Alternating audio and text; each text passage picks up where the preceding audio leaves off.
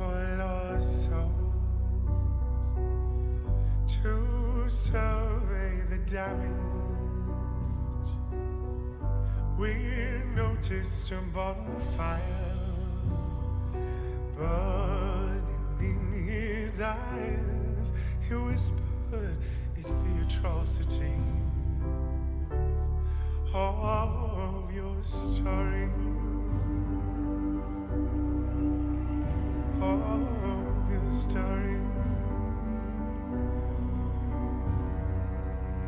God visits all lost souls to survey the damage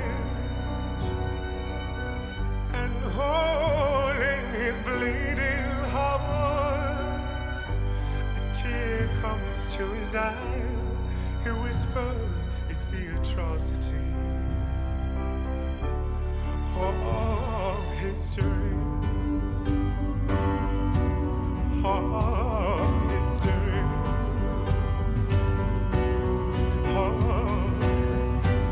And he falls to the floor.